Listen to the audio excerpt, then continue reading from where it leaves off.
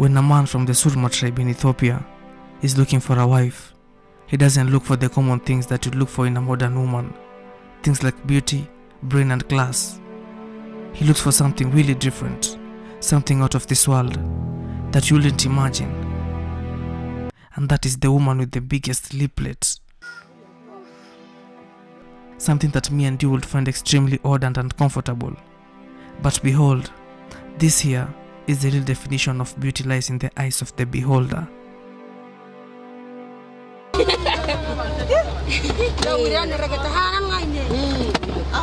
And when it comes to the women of the Surma tribe, wearing a lip plate is a symbol of great beauty that takes them to extreme lengths just to get one.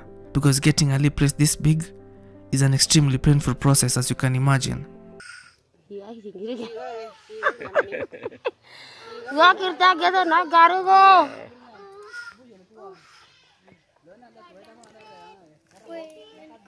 But to them, it doesn't matter because it makes them beautiful in the eyes of their men. To get one of these plates, a girl must be 15 years old and above, where her mother first removes her incisors and then cuts her lower lip at the center. The cut is then held open by a wooden plug until it heals slowly.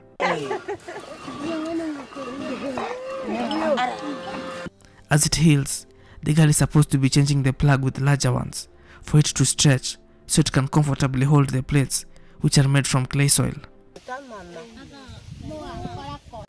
It's up to the girls how far they want the lip to be stretched, and after several months, it will be healed.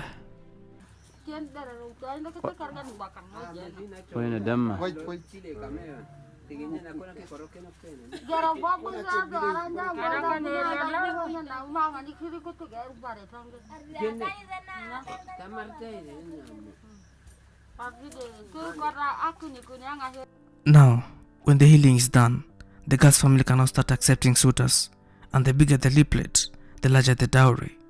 For small ones, 40 cows will be given as dowry, but for big ones, it's 60 plus cows.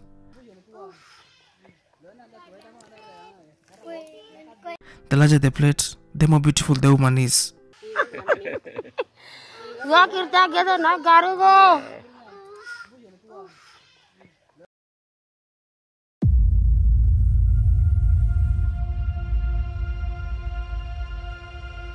For the young men, it's not just about cows alone they'll have to give.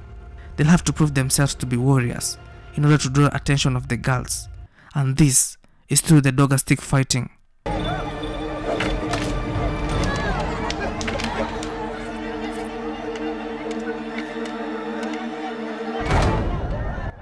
The donga stick fighting is a very dangerous game with lots of violent deaths that sometimes the Surma women have trouble finding a husband due to the high rate of deaths caused by the game.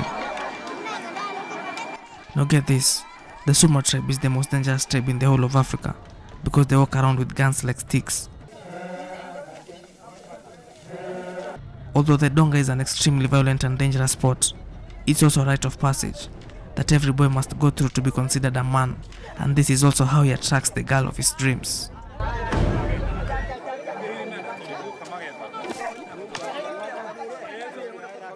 Just like the women of the Surma tribe go through a lot of pain to get the lip plates, the men also subject their bodies to rough and painful tests to prove themselves to their women.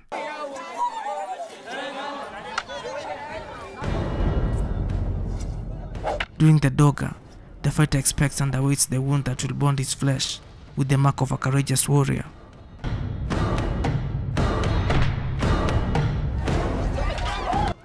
The skin bursts on impact and bones break.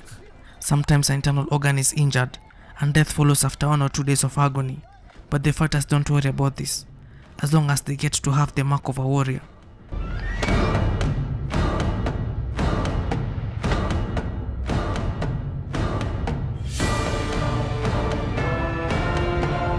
During the tough duel, the man gets the chance to show off his best moves to the girls.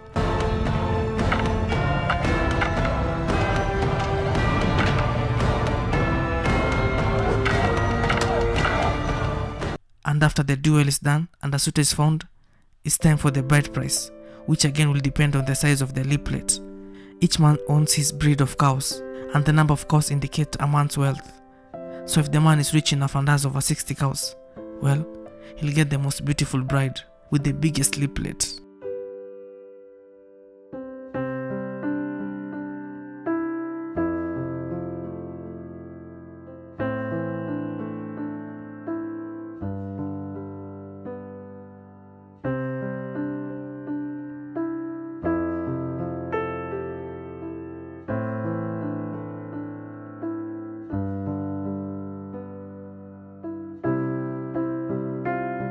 After the bride price has been agreed on, the wedding is quite simple.